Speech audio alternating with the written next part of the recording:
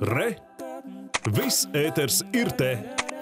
Tukuma novada iedzīvotāji un citi dabas draugi sociālos tīklos ziņoja par īpaši aizsargājamas sugas atradnes iespējamu iznīcināšanu kādā Latvijas valsts mežu apsaimniekotā teritorijā. Dabas aizsardzības pārvalde sākusi pārbaudi.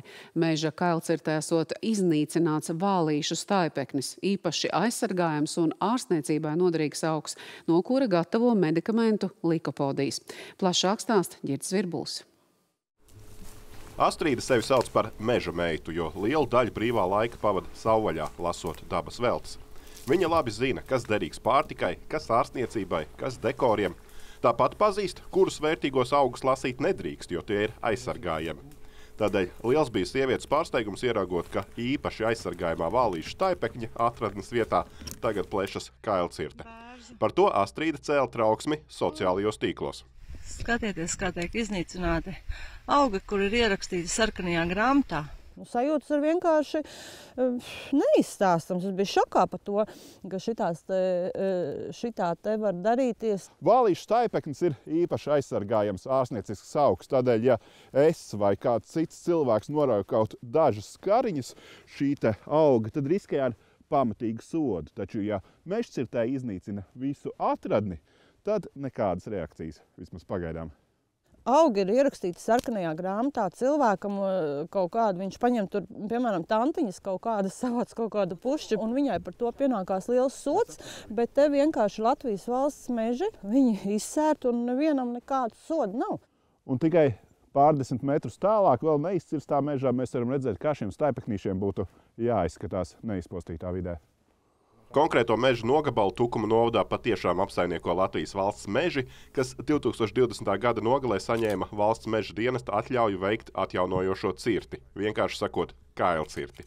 Ne meža dienests, ne valsts meži nesot zinājuši, ka teritorijā atrodas aizsargājama suga. Mēs neesam um, uh, sa saņēmuši ziņas, ka tur būtu kādi aprobežojumi, kas būtu juridiski saistoši. Tātad juridiski saistoši aprobežojumi tādi, kas ir noteikti likumdošanā, un pārsvarā Latvijā tās ir divas, divi veidi, vai nu IADT teritorijas, vai arī mikroliegumi. Šajā gadījumā nav no viens no otras. Šīs informācijas arī mums nebija. Ir, ir teritorijas, kas ir blakus tiešā tūmā, kur ir. Tur arī attiecīgi saimnieciskā darbība nav plānota. Šajā vietā šī, šādas informācijas nebija. Pēc tam, kad Astrīdas ieraksts sacēla vētru sociālajos tīklos un par notikušo sāka interesēties arī Latvijas televīzija, beidzot arī dabas aizsardzības pārvalde sākus pārbaudi par notikušo, bet līdz izcirtuma apsekošanai klātienē vēl nav tikusi. Mēs to izdarīsim pirmdien.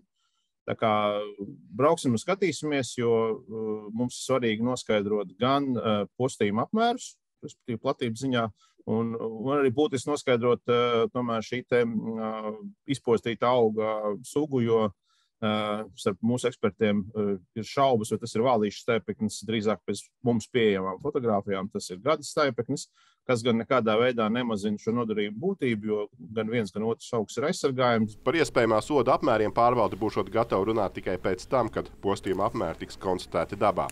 Girts Zvirbulis, Aigars Kovaļevskis, Latvijas televīzija.